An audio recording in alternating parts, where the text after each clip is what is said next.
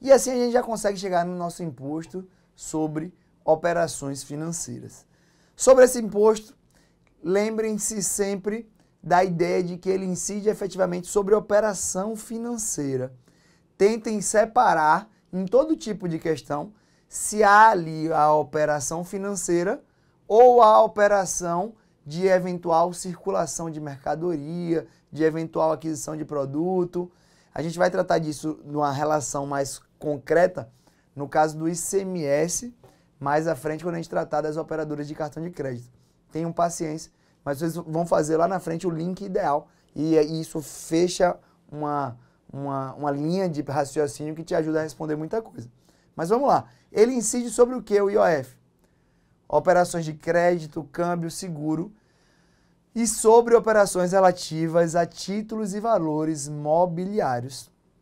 O ouro, como ativo financeiro ou cambial, como ativo financeiro cambial, sujeita-se exclusivamente à incidência do IOF.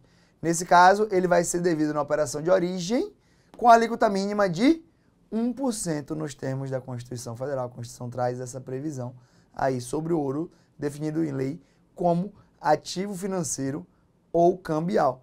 Quais são as características do IOF? Natureza extrafiscal, então ele serve como instrumento do poder público na intervenção econômica. Seu lançamento também é por homologação e ele é uma exceção ao princípio da legalidade, da anterioridade e da nova antena, seguindo aí uma, como uma consequência da sua natureza extrafiscal, tá? Agora a gente já enfrenta um julgado de 2021. Bom importante também que vocês precisam conhecer. Em relação às operações de câmbio, o CSTJ decidiu que, vê que massa, incide o IOF nas movimentações decorrentes das operações de conferência internacional de ações de sociedade estrangeira no aumento do capital social da empresa brasileira. Conforme o STJ, para caracterizar a operação de câmbio sujeita ao IOF, basta que o, o contribuinte realize a oferta de ações no exterior, a fim de captar determinada quantia em moeda estrangeira. O STJ então considerou que incide o IOF nas movimentações decorrentes das operações de Conferência Internacional de Ações de Sociedade Estrangeira no aumento de capital social de uma empresa brasileira. Beleza?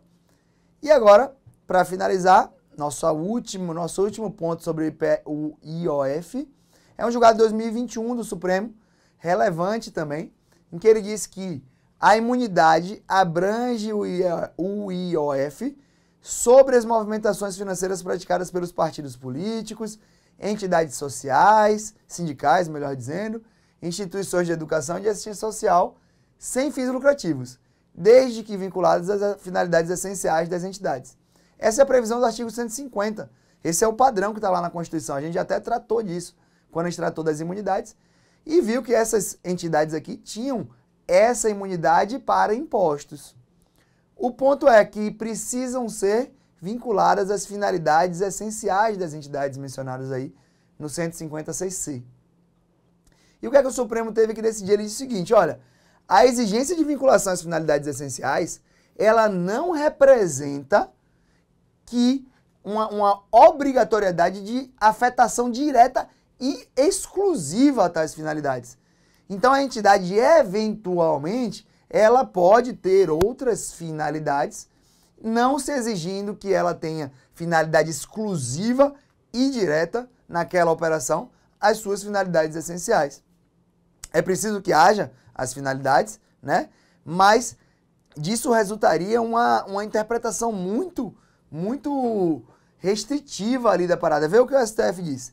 Disso resulta que uma interpretação muito restritiva sobre a imunidade do patrimônio e renda do pessoal da, do artigo 156C não se coaduna com a intenção do Constituinte em estabelecer a imunidade.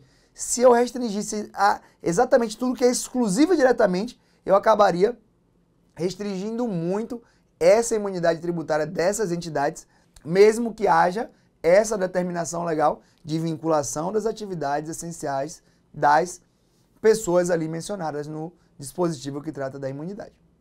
Beleza? Esse tema é muito importante, deve cair é, nas próximas provas aí. Fiquem atentos, beleza?